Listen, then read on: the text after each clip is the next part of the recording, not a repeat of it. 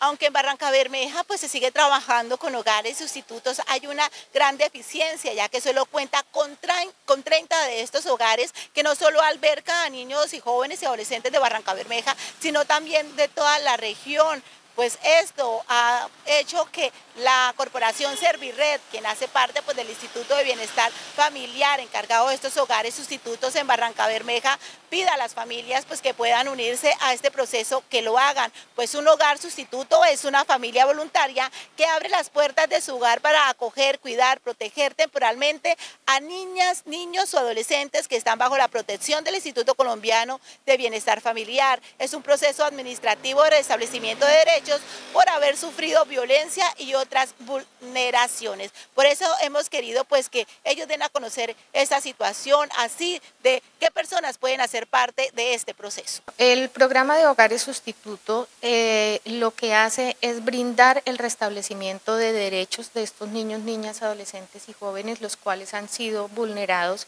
en el medio eh, familiar. Entonces lo que se busca es que eh, todas aquellas atenciones en salud, los procesos educativos, el derecho a la recreación y al deporte, eh, el cuidado integral de estos niños, niñas y adolescentes, pues sea brindado a través de los hogares sustitutos. Los niños son retirados solamente cuando se lleva un proceso de, seguimiento y verificación de que efectivamente se están vulnerando los derechos de los niños y son llevados a los hogares sustitutos donde son recibidos por eh, las madres o padres sustitutos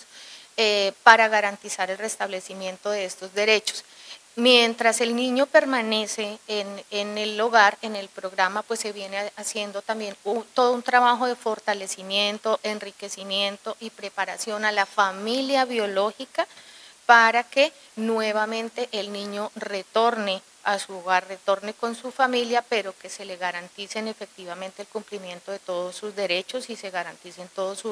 sus cuidados. Pues las personas que quieran hacerlo, pues hay una serie de requisitos, pues el beneficio más allá de económico para aquellos hogares que quieran acoger a estos niños, niñas y adolescentes, pues que han tenido situaciones y han vivido de situaciones difíciles o en familias disfuncionales, eh, puedan, eh, digamos, poder tener un hogar y ser protegidos. Hay algunos requisitos por parte del Instituto Colombiano de Bienestar Familiar para las familias que quieran hacer parte de este proceso. Esto también ellos lo dan a conocer, pero también cuáles eh, aquellos beneficios que puede tener la familia, como les decía, más allá de económica, es una eh, atribución humanitaria para poder colaborar con estos niños y jóvenes. Yo parto de aclarar que no son solamente madres sustitutas, que los hombres también se pueden postular como, como padres sustitutos. Los requisitos que deben tener es eh, mínimo noveno grado, eh, estar entre los 25 y los 55 años de edad eh, y vivir en un estrato mínimo de, de dos. Desde el aliado estratégico Servirred, pues nosotros contamos con un equipo multidisciplinar, entonces está eh, la trabajadora social, psicología, está la profesional en pedagogía, está la profesional en nutrición,